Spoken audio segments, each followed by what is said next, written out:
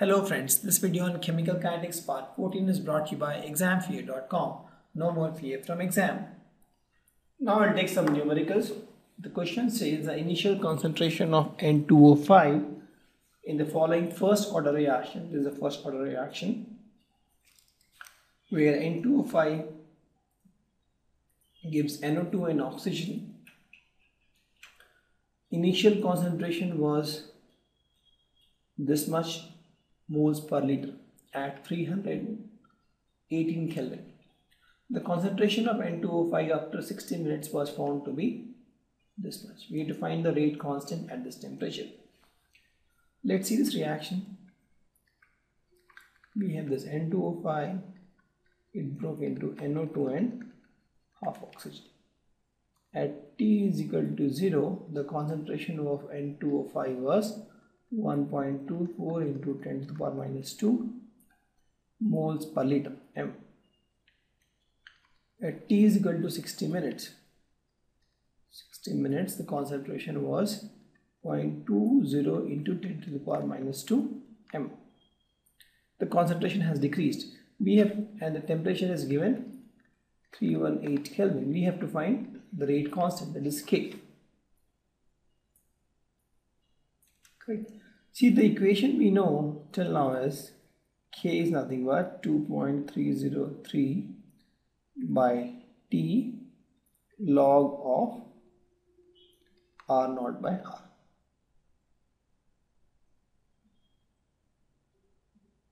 That is what we know. Correct.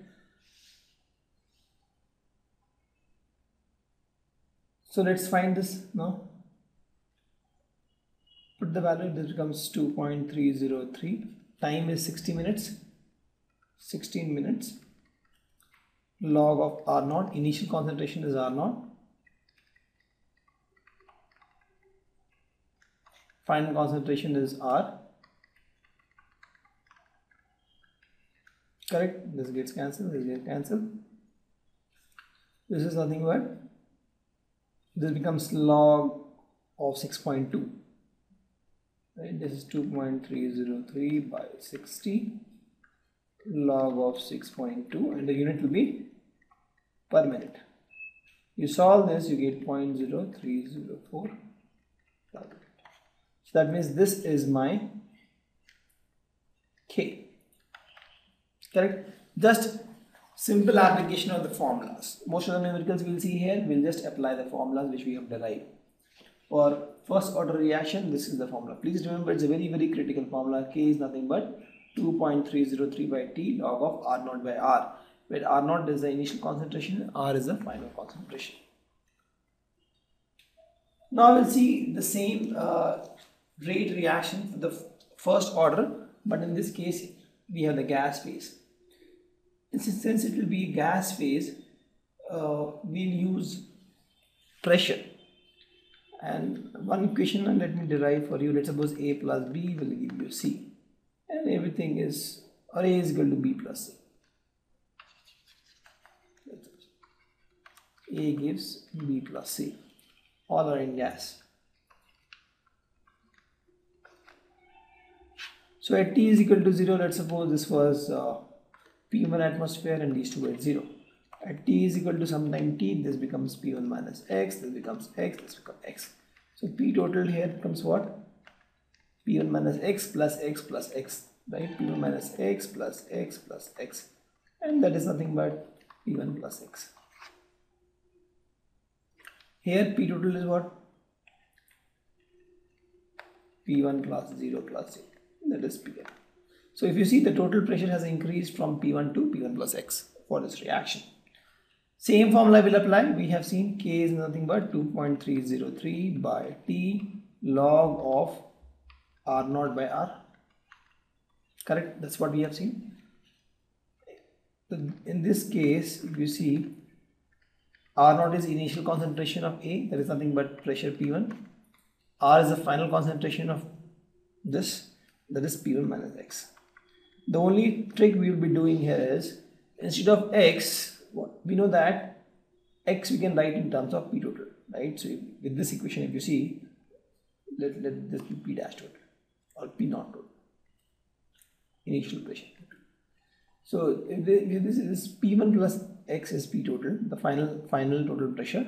So X is nothing but P total final minus P1 with this I can say this is P1 minus X right I can say this is nothing but log of P1 by instead of P1 minus X I can say P1 minus this value. P total minus P. Correct? So with this I get 2.303 by T log of P1 by 2 P1 minus P.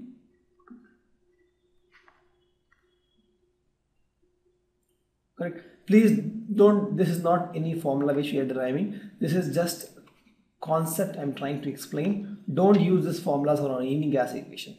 For any gas equation if you see you have to derive this. It may be it has stoichiometric coefficient of 2 or 3 in that case it will change. This is just a concept. The concept we are trying to derive here is we are still using the same formula here right which we have seen for first order equation to find the value of k but instead of in initial concentration in moles per liter we are using in pressure. And instead of using p1 minus x x is something which we will derive. And this will vary based on the equation if it has some stoichiometric coefficients this equation will vary. So x will derive and we'll try to find the value of x in terms of total final pressure. Because in generally in questions they'll be giving us total final pressure and will get this kind of equations. So let's see one numerical on the concept we just explained. The following data were obtained during the first order thermal decomposition of N2O5 at the constant volume.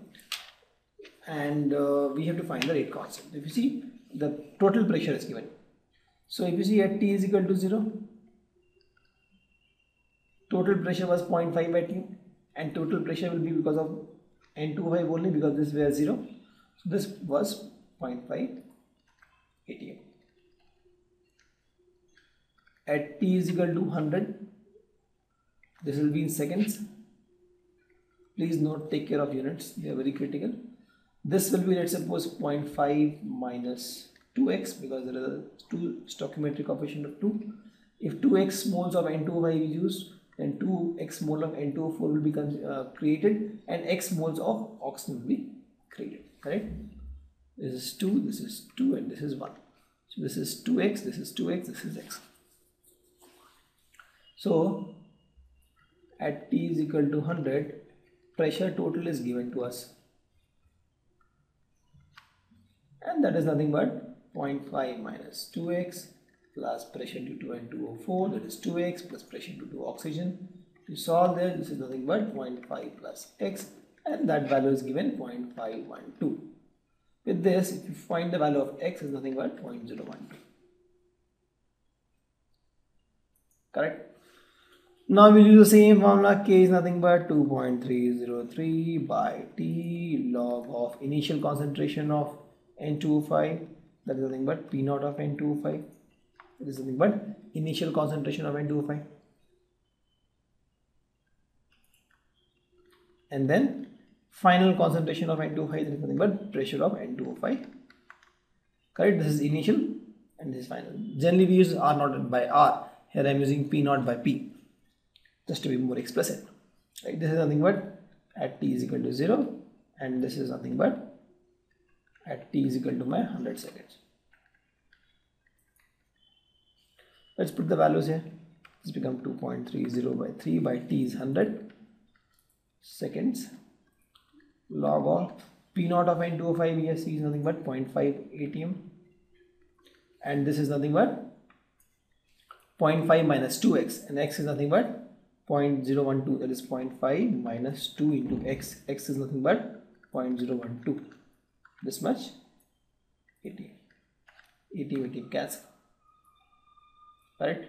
This becomes uh, 0.476 so 0.5 by 0.476 log and this value if you actually solve it this comes out to be 4.98 into 10 to the power minus 4 per second.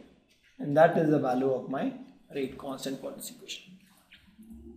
Correct? The same concept here. So we have this yeah use this x and then since total pressure was given please note here total pressure is given if in the question they give the pressure of N2O5 itself then it is very easy. But generally when you are having uh, the reactions taking place it is difficult to find a partial pressure. It's very easy to find the total pressure of the whole uh, container where the reaction is taking place. So generally the data is in terms of total pressure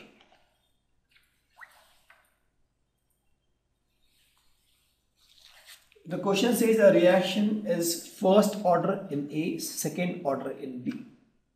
That means a rate is nothing but K, first order in A, A to the power 1, second order in B, that is B to the power T.